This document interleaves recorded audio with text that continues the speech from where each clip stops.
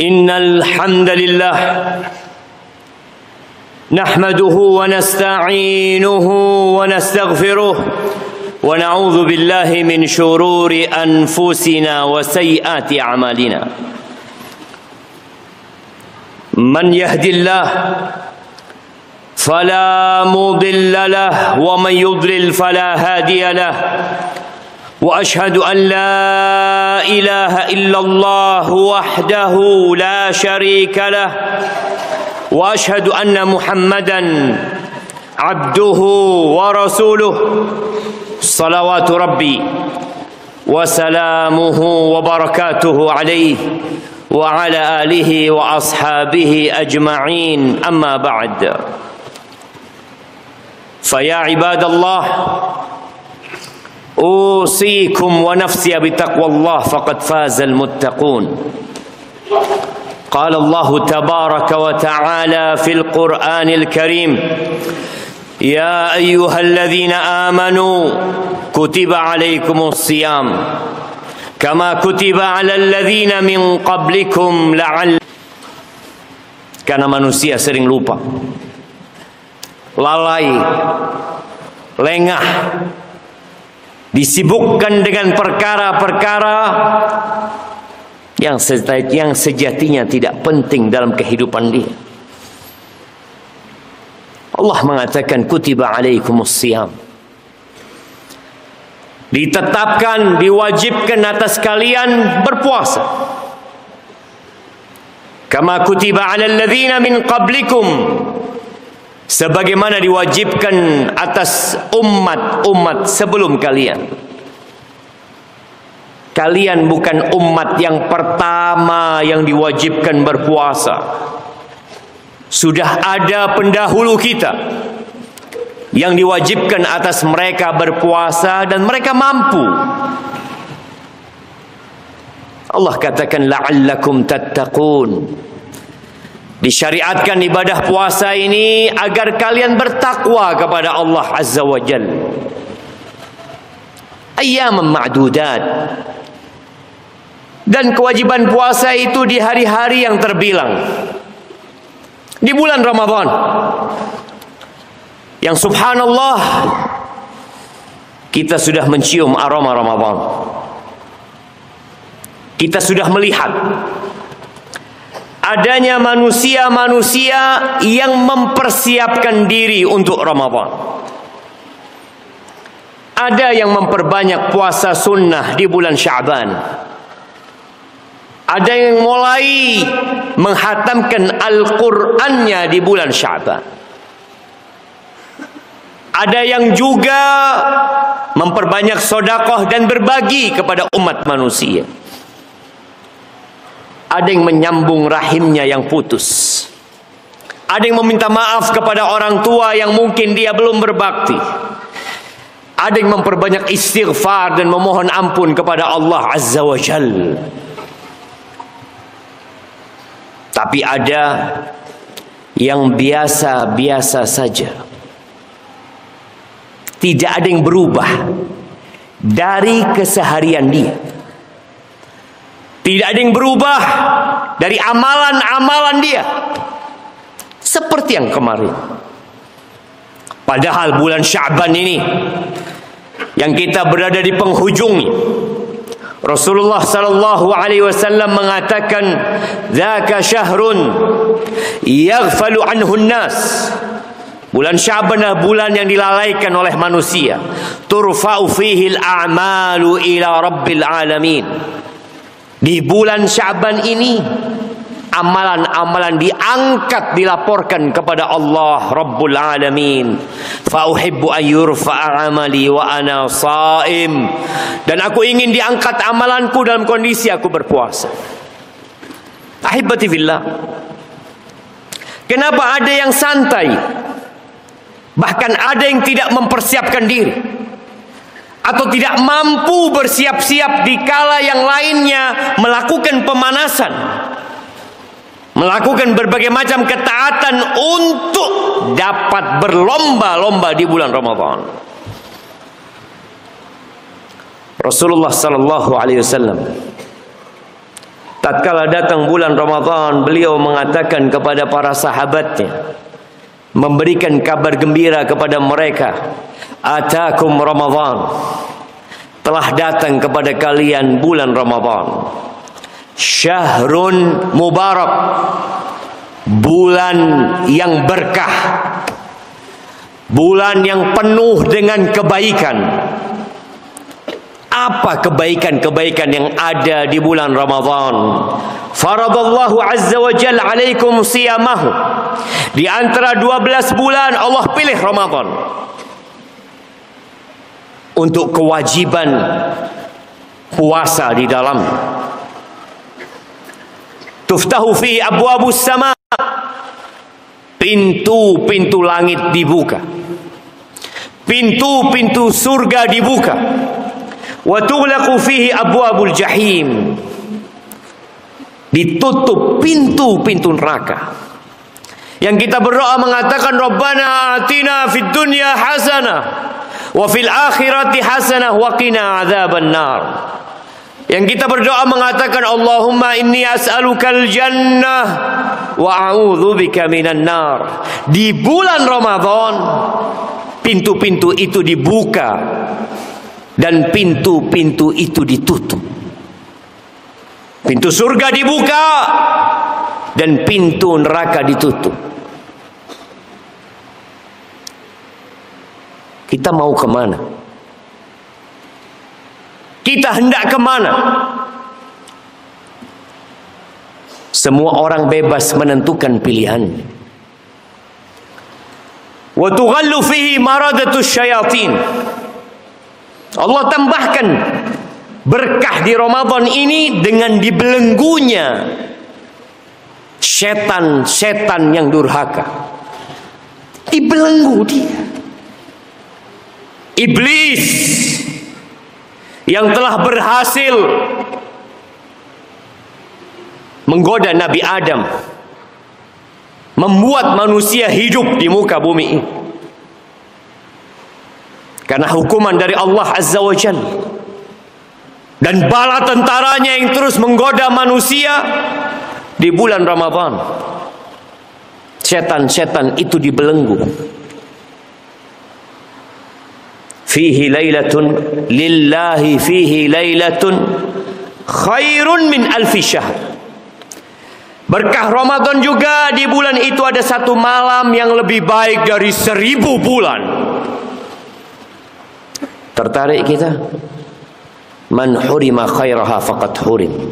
Yang terhalangi dari kebaikan Lailatul Qadar ini. Maka dia orang yang merugi, orang yang terhalang dari kebaikan. Ahibati fillah. Pernahkah kita bertanya kepada diri kita? Kenapa Ana sampai hari ini belum mempersiapkan diri untuk Ramadan? Sama dengan hari kemarin. Kenapa Anda melihat sahabat Anda bisa qiyamul lail, Anda nggak bisa? Dia puasa Senin Kemis. Dia puasa tengah bulan. Ada yang puasa Daud. Anda kok nggak bisa? Anda lihat sahabat Anda duduk di antara subuh sampai matahari terbit. Duduk di antara asar sampai maghrib, maghrib dari isya. Membaca kitab Allah. Kenapa aku gak bisa? Mungkin kita memang tidak tertarik. Mungkin sebagian kita tidak keingin, tidak ada keinginan untuk berlomba-lomba di bulan Ramadan. Dan kita tahu jamaah, mereka yang tidak mempersiapkan diri maka berantakan tatkala Ramadan tiba. Sebagian mulai belajar fikhu Ramadan. Fikih Ramadan, fikih puasa, mempersiapkan diri. Kita masih sibuk dengan urusan-urusan yang sebenarnya kita bisa tinggalkan. Ahibati fillah. Ketahuilah bahwa di dalam tubuh kita ada motor yang menggerakkan semua raga kita. Ada sebuah organ Yang kata Nabi alaihi salatu wassalam, "Idza salah" Kalau organ itu sehat, kalau organ itu baik, salah hasairu jasadi. Seluruh tubuhnya sehat. Wa idza fasad. Tapi kalau rusak, rusak semua tubuh. Ala wahiyal qalb. Organ itu adalah hati. Motor yang menggerakkan kita untuk bersodakoh. Motor yang menggerakkan kita untuk qiyamul lail. Untuk salat qabliyah, ba'diyah, untuk tidak telat ketika salat Jumat itu namanya hati. Ketika ada kemalasan di raga, kelemahan di tekad dan ambisi, maka ada masalah dengan hati. Boleh jadi hati kita penuh dengan dosa. Membuat kita futur. Membuat kita jadi malas. Para ulama menyebutkan banyak di antara kita yang mungkin sudah terhindar dari dosa-dosa besar. Enggak, alhamdulillah Allah jauhkan anak dari dosa-dosa besar. Tapi dia lupa bahwa dosa-dosa kecil pun dapat membuat hati menjadi lemah. Rasul sallallahu alaihi wasallam mengatakan, "Iyyakum wa muhaqqaratiz dzunub." Hati-hati kalian hindari dosa-dosa yang diremehkan. Fa inna laha minallahi taliban. Allah akan sediakan penuntut khusus untuk dosa-dosa kecil. Dan Allah mengatakan, "Wa ma asabakum min musibatin fabima kasabat aydikum wa ya'fu an katsir." Apa saja musibah yang menimpa kalian itu gara-gara kerjaan kalian sendiri.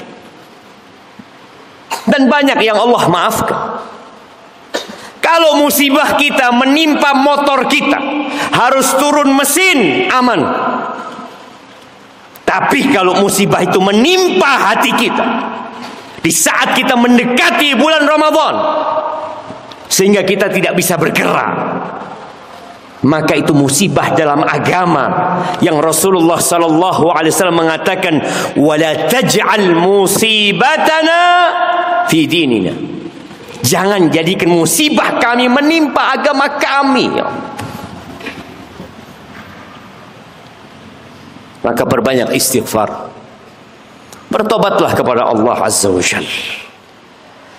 Yang kedua, berlebih-lebihan dalam beragama.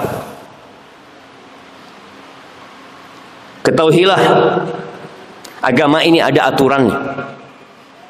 Beragamalah sesuai dengan aturan. Jangan dilebih-lebihkan. Sebagian akan sholat terus, nggak tidur malamnya. Tidur engkau. Nabi SAW mengatakan, Amma anak Fa aqumu wa arkut. Aku salat malam dan aku tidur istirahat. Maka jangan berlebih-lebihan. Engkau lihat hak keluargamu, hak anakmu, hak tubuhmu. Karena ketika engkau berlebih-lebihan, kau akan capek, lelah dan beranggapan agama ini sulit. Padahal Nabi alaihi salatu mengatakan inna hadha din yusr. Agama ini mudah. Yang ketiga, berlebih-lebihan dalam hal-hal yang mubah. Berapa banyak di antara kita yang mengatakan, oh ini nggak apa-apa, ini mubah, ini nggak haram. Ya. Tapi tatkala engkau memperbanyak hal-hal yang mubah, banyak nongkrong, banyak ngobrol, banyak makan, banyak tidur, engkau memperbanyak hal-hal yang awalnya mubah, engkau jadi malas beribadah. Tapi tatkala engkau tinggalkan yang mubah ini, insya Allah engkau tinggalkan yang makruh. Kalau engkau tinggalkan yang makruh, insya Allah yang haram engkau tinggalkan. Maka lihatlah di bulan Syaban yang tinggal sedikit ini, Perkara-perkara mubah yang biasa engkau kerjakan kau kurangi. Dengan itu engkau punya waktu untuk memperbanyak ketaatan kepada Allah Azza wa Jalla. Yang keempat, hindari kawan-kawan yang buruk. Yang mengajakmu memperbanyak yang mubah, bukan yang haram. Kalau yang haram jelas engkau tinggalkan. Tapi ada kawan yang selalu mengajak jalan-jalan, wisata kuliner sana sini engkau tinggalkan. Apalagi yang mengajak kepada yang haram. Saatnya engkau ganti kawan dan sahib. As-sahibu sahib. Kawan itu menarik. Dan yang kelima, lupa dengan akhirat lupa dengan kematian. Ahibati fillah, Nabi alaihi salatu wasallam mengatakan kuntu nahaitukum an ziyaratil kubur. Aku melarang kalian untuk ziarah kubur. Pernah Nabi melarang alaihi salatu wassalam lalu beliau menyuruh kita untuk berziarah kubur fa innaha tudzakkirul akhirah karena ziarah kubur mengingatkan kepada akhirat kapan terakhir antum ziarah kubur أقول قولي هذا. وأستغفر الله لي ولكم ولسائر المؤمنين والمؤمنات فاستغفروه إنه هو الغفور الرحيم.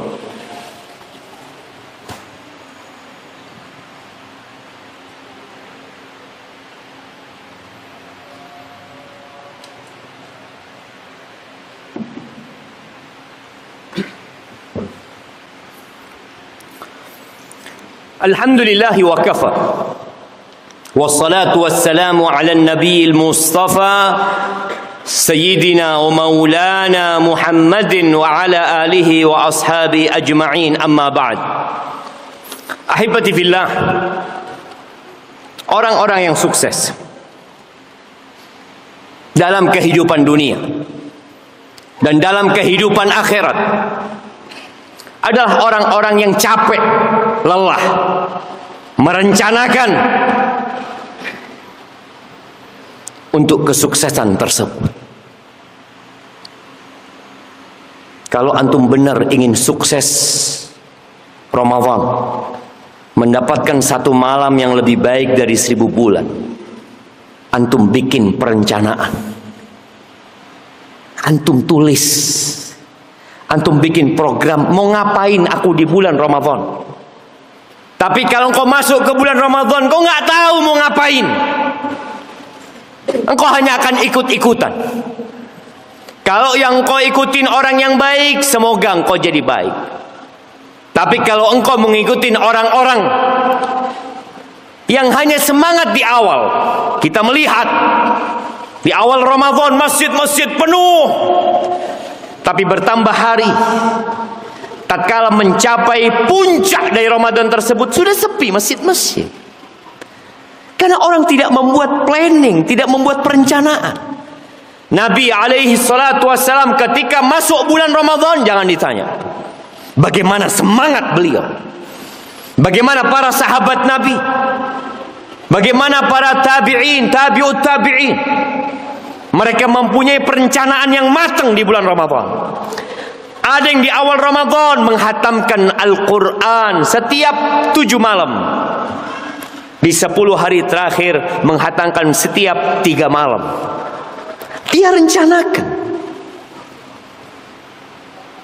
Tapi kalau kita tidak punya perencanaan yang matang, saatnya kita duduk di majelis ilmu, mendengarkan kajian-kajian yang disampaikan tentang fadilah Ramadan, tentang amalan-amalan Ramadan, karena sesuai dengan kadar ilmu antum perencanaan yang akan antum buat. Sesuai dengan kadar ilmu kita sebesar itu pula doa dan permohonan kita Bagaimana para salafus soleh enam bulan sebelum Ramadan? Udah terus Allahumma balighna Ramadan. Allahumma balighna Ramadan. Masuk bulan Rajab mereka mulai bercocok tanam. Masuk bulan Syaban mereka menyirami. Dan tatkala masuk bulan Ramadan mereka menuai. Mereka panen pahala. Karena mereka sudah merencanakan hal itu. Dan berdoa memohon kepada Allah Azza wa Jalla Ahibati fillah, hari ini hari Jumat. harinya bersalawat kepada Nabi alaihi salatu wassalam. Hari yang penuh dengan fadilah. Di akhir Jumat ada waktu doa mustajab. Perbanyak doa mohon kepada Allah azza wa jal. Innallaha wa malaikatahu yusalluna ala nabi. Ya ayyuhalladzina amanu sallu alaihi wa sallimu taslima. Allahumma salli wa sallim على عبدك ورسولك سيدنا ومولانا محمد وعلى آله وأصحابه أجمعين. اللهم اغفر للمؤمنين والمؤمنات والمسلمين والمسلمات الأحياء منهم والأموات. إنك سميع قريب مجيب الدعوات. ربنا ظلمنا أنفسنا وإن لم تغفر لنا وترحمنا لنكونن من الخاسرين. اللهم ول على المسلمين المسلمين خيارهم. اللهم ول على المسلمين خيارهم. اللهم ول على المسلمين خيارهم. اللهم أصلح شباب المسلمين. ووفقهم لطاعتك يا رب العالمين. اللهم منزل الكتاب. مجري السحاب. هازم الأحزاب. اهزم أعداءك أعداء الدين يا رب العالمين. اللهم انصر إخواننا المستضعفين في غزة. اللهم انصرهم يا رب العالمين. اللهم أهلك اليهود الغاصبين. اللهم دمر أعداءك أعداء الدين يا رب العالمين. وزلزل الأرض من تحت أقدامهم يا قوي يا متين. ربنا آتنا في الدنيا حسنة وفي الآخرة حسنة وقنا عذاب النار. وسبحان ربك رب العزة عما يصفون. وسلام على المرسلين. والحمد لله رب العالمين.